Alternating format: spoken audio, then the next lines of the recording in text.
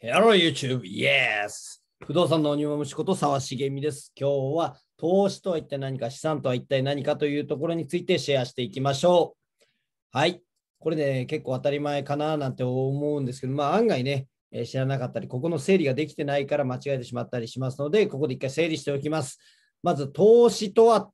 ね、投資、じゃあ投資以外のこの何があるんですかっていうことで、投資とか消費とか浪費とかあるんですけれども、もうこういうふうに定義します。投資は自分が入れたものよりも多くのものが返ってくる。自分が入れた価値よりも多くの価値が返ってくる。これ時間がちょっとかかってもいいです。その瞬間に返ってくるものってないですからね。すべてのものは何かを入れないと何か出てこないんですね。ね何か出てきたら入れようってこれ何も起こらないんですよ。何かを入れたらただ何かが出てくる。その何かが入れたもの以上のものが出てくるのが投資。入れたものと同じ価値のものが出てくるのが消費。そして入れたものよりも低い価値のものが出てくるのがこれは浪費ということになります。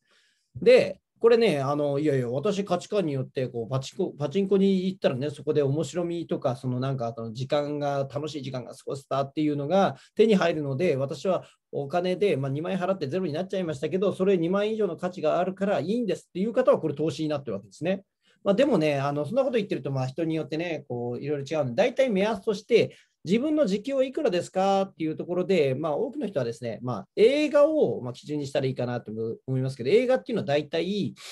まあ、2時間で2000円くらいですよね。つまり1時間1000円。この1時間1000円以上何かを突っ込んでしまうものっていうのは結構浪費になるかもしれません。例えばパチンコなんかね、1時間で2万円とか3万円とか平気で消えてって、まあもうその分リターンが出てくる日もありますし、出てこない日もありますけど、まあでも、あれはあのマイナスサムゲームなので、全部足すとマイナスになってるんですね。なぜならば、パチンコ屋がその諸場代、経費、ね、あの会場代、そういったものを引いてますんで、トータルで言うとみんなから集めたお金で、まあ、マイナスになった状態のものをみんなで分配しますので、とその利益の総合計はマイナスになってるんですね。まあ、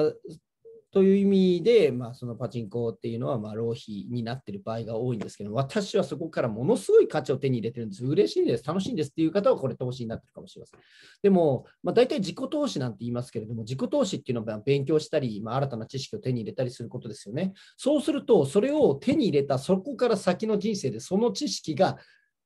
使える機会が何回もあって、それが何他のことになって帰ってくるわけですよ。つまり、その自己投資で例えばセミナーに行って、このセミナーに行ったおかげでこの知識を手に入れられたんで、自分はこういう考え方を持つに至ったゆえに、その生き方をしたから今後すごいことがやってくる。そしたら自分が入れた時間やお金よりも多くのものが返ってくるってことになりますよね。だから、勉強とかそういう自己投資っていうのは、ほぼ投資になってます。で、それが20代のうちに投資するのと同じお金と時間をかけてもですね、で、これが60歳になってから投資するのだと、60歳からだとこうね、使える時間が少ないので、より割の悪い投資っていうことになりますので、勉強は若い時にした方がいいっていう話になってるわけですね。で、例えばご飯を食べたりするのはこれは消費ですね。自分がこのくらいの金額だな、このくらいの価値だな、このくらいの美味しさだな、このくらいのカロリーだなって思って買ったものとそれと同じものが返ってくる。そしてそれは消えていくと。で、そしてまたあの次の日にそれの影響がまあほとんどないという、これ、こういうものが消費になります。ただね、こう見え張ってね、こうよっしゃ、100万円だと、明らかに100万円の価値のないものにやって、しかもそれがその後使えない。これは入れたものよりも少ないものしか返ってきてないんで、浪費ってことになりますね。で、浪費をさせる原因っていうのは、例えば見栄とか、あのね、あの世間体だとかね、このくらいないとかいけないとか、そういう誤った価値観に基づいて発生していることが多いですね。ということで、入れたものより多くのものが返ってくる。チャリン、チャリン、ね、時間でレバレッジでこうリピート率で返ってくる、そういったものは投資になりますし、それ入れたらそれがその時返ってきて終わってしまう。これ、労働収入も消費ですね。自分の時間を消費してるわけです。これは消費。で、入れた時間にも明らかに生産性が低い。例えば行くとね、その自分の時間を使ったにもかかわらず楽しくないとか、うわ、無駄だって、うわ、人生の浪費だって思いながらやってるようなこと、こういったことは浪費です。だから、この区分で考えて、常に投資をし続ける、学び続けるもそうですし、あの、だから富豪の方々はですね、1円単位でこうすごいものの売買にこうこだわるんですけれども、これは投資だ、明らかにたその自分が入れたいものよりも大きいものが返ってくるっていう場合には、その金額の大小っていうのは全然考えない、関係ないですね。もういくらだろうとドーンってつぎ込んで、はいって。で、その分変えてくるんでしょ？っていうことになるわけです。まあ、その辺のね、マインドとか、まあ、決断とか知識とか、そういうことも必要ですが、この投資に心がけていきましょう。で、消費も別にしていいです。で、多くの方が消費者って呼ばれてますね。例えばテレビ CM を売って消費者の方が買いました。で、彼、うん、自分の時間とか、その対価を手に入れて、同じものを手に入れて、それがそれ以上富を生まないわけですね。まあ、食事とか、そのまま消えていくわけです。で、消費者にならない、投資者になる、投資家になるということでやってきましょう。じゃあ、その投資したもの、この資産とは何なのかっていう、これもですね、まあ、あのこのチャンネルをすでに見ている方っていうのは、もう私のセミナーなんか聞いて分かってるかもしれませんけれども、一応あの整理しておきますと、資産とは代償よりも多くの価値が得られるもの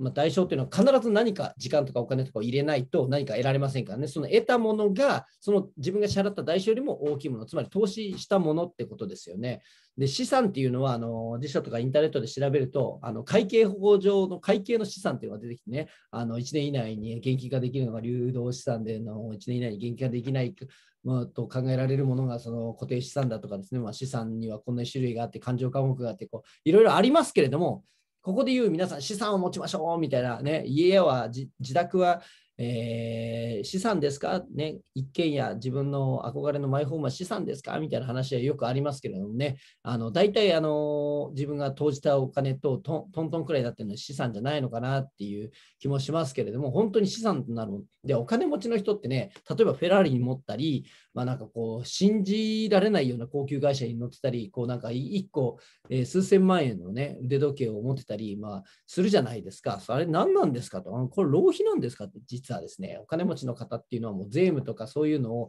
勉強してますんで、まあ、ダイヤもそうですけれども、あのー、大体自分が買ったものよりも後で高く売れるものしか買ってません。で、フェラーリも普通のフェラーリ買うんじゃなくて、世界に何台しかないフェラーリは必ず値段が上がるんですね。まあ、必ずっていうとね、お前違うじゃねえかっていう場合が発生してくるんで、あれですけども、ほぼほぼ値段が上がると分かっているものしか買わないんですね。で、時計もそうです。これ希少価値があって。で、あの、ダイヤもそうなんです。あの、石の状態からこう磨くと価値が出るとかですね。あの、要は、自分が買った時よりも高く売れるもの、高く現金化できるもの、つまり価値を生んでるってことですよね。時間があの寝かすことによって価値が生んだり、そういったものが資産なんです。ということで、アパートもですね、もうこれも自分が売るときよりも安く買ったものは資産になります。自分、ね、あの新築新築マンションのこう区分所有とかっていうのは、大体自分が買った時がピーク値ですよね。だから売るときにはまかなり下がっています。なので、これは資産じゃないです。浪費です。その、いやいや、それでも100年持ち続ければね、その誰かに100年持ってる間に貸し続けて、それでインカムゲインで、例えば20年後以降にこう利益が出てきますなんてこともあると思いますけどね、あのそうしたら20年っていうスパンで見れば、あの投資になっています。ただ、20年、30年経ってプラスになるような投資ってやってて意味ありますか？まあ、それ意味ある人もいますけれども、あなたにとって、あなたの人生にとって意味ありますか？ね、やっぱりあの1年目からもうプラスになっていったりですね、そういう資産として、もうい今売っても、まあ、あの高く売れますっていう、そういうようなことができた方が嬉しいですよね。だから資産の定義は自分が売るときに、えー、自分が買ったときよりも高く売れる。そんなものあるんですか？ってね、お金持ちの人ってそういうことしかやってないんですよ。で、そういうとこには金に糸目をつけてバーンと使うと、そういったような、えー、形になっています。ということで、代償よりも多くの価値が得られる。ね、知識もそうですよ。知識もだから自己投資なんです。だからどんどん投資していきましょう。はい。投資とは、資産とはということで、これを整理した上で、えー、いろんなものを見ていくと、えー、マネーリテラシーがついて、より正確にこの世の中を理解していくことができます。とっととですね、ファイナンシャルフリーを達成して、この日本のために役立っていきましょう。イエーイ